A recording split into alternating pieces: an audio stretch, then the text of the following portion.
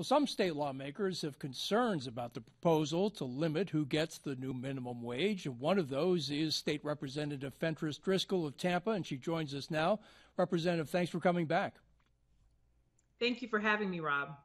Uh, Senator Brandes tells us that this uh, proposal to limit the minimum wage is his way to reduce unemployment among uh, people who are under 21 and ex felons. What do you say about that? Well, what I say is that this is yet another example in a long history, a long list of examples, rather, of the legislature attempting to subvert the will of the voters.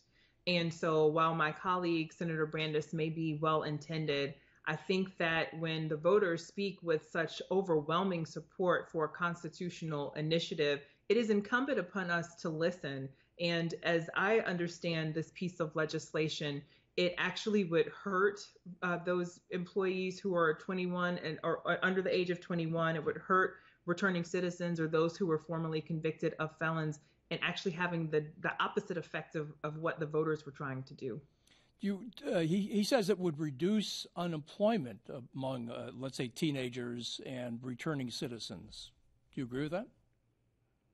I disagree with that, and particularly with respect to returning citizens. Look, it's hard enough for returning citizens to find employment, to get back on their feet. We're talking about about people who have uh, paid their time, like they've done their time, they've paid their dues, and they deserve to have that second chance in life. That's what the law affords them. So what this legislation would do, it appears to me, is to further hamper their ability to build a life and to become productive members of society. Last summer, after the Black Lives Matter protests, uh, Governor DeSantis uh, suggested that there should be higher penalties on protests that turn violent or that protests that block streets. Uh, that legislation is up there in Tallahassee. What are your thoughts about it? Well, thank you even for the way that you phrased that question so artfully, because I think a lot of people miss that. This legislation, House Bill 1, was first teased back in August or September when uh, we were still having those protests after all of the civil unrest and the killings of unarmed black people, including George Floyd, Breonna Taylor, and Ahmaud Arbery. Uh, not, uh, it was filed after the Capitol riots in Washington, D.C. Uh, on January 6th, but it was teased way back then. And so we know that there is a nexus between the Black Lives Matters protest and H bill uh, HB1. And so it's problematic to me um, on that level because it says to people and their allies who were out there protesting against the historic injustices against blacks in America, you know, we don't care. To me, it's the legislative equivalent of a knee on the neck. I think this bill is unconstitutional. Uh, for many reasons. We already have a constitutional right under the First Amendment to gather and have peaceful protests. And we also have many laws on the books that would take care of some of these, um, the, the problems, the alleged problems that they say this bill is trying to address. The Legislative Black Caucus this week came out with several proposals to reform the criminal justice system, or reform the police. You were part of that uh, press conference. Tell us uh, what the main ideas of this are.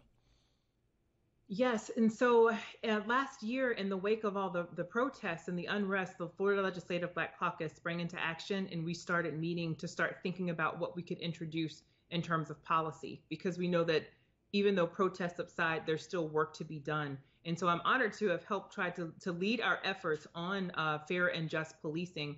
A few of the items that we want to tackle building more accountability and transparency by having a database that would track use of force incidents against officers uh, and also track if an officer had been terminated uh, more than twice for cause, making it so that those officers can't hop around from agency to agency. We know that there's so many great law enforcement officers and they put their lives on the line every day. We just want to make sure that we're able to capture and intervene when there, are those bad actors, those bad apples, if you will, who might get in there and try to spoil the culture and spoil the bunch. Um, we're also looking at establishing minimum standards for policies and procedures across all law enforcement agencies.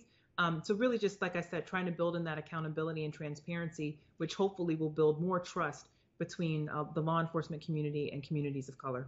Well, Representative Driskell, thanks for coming back on Florida this week, and great to see you. Thanks for having me.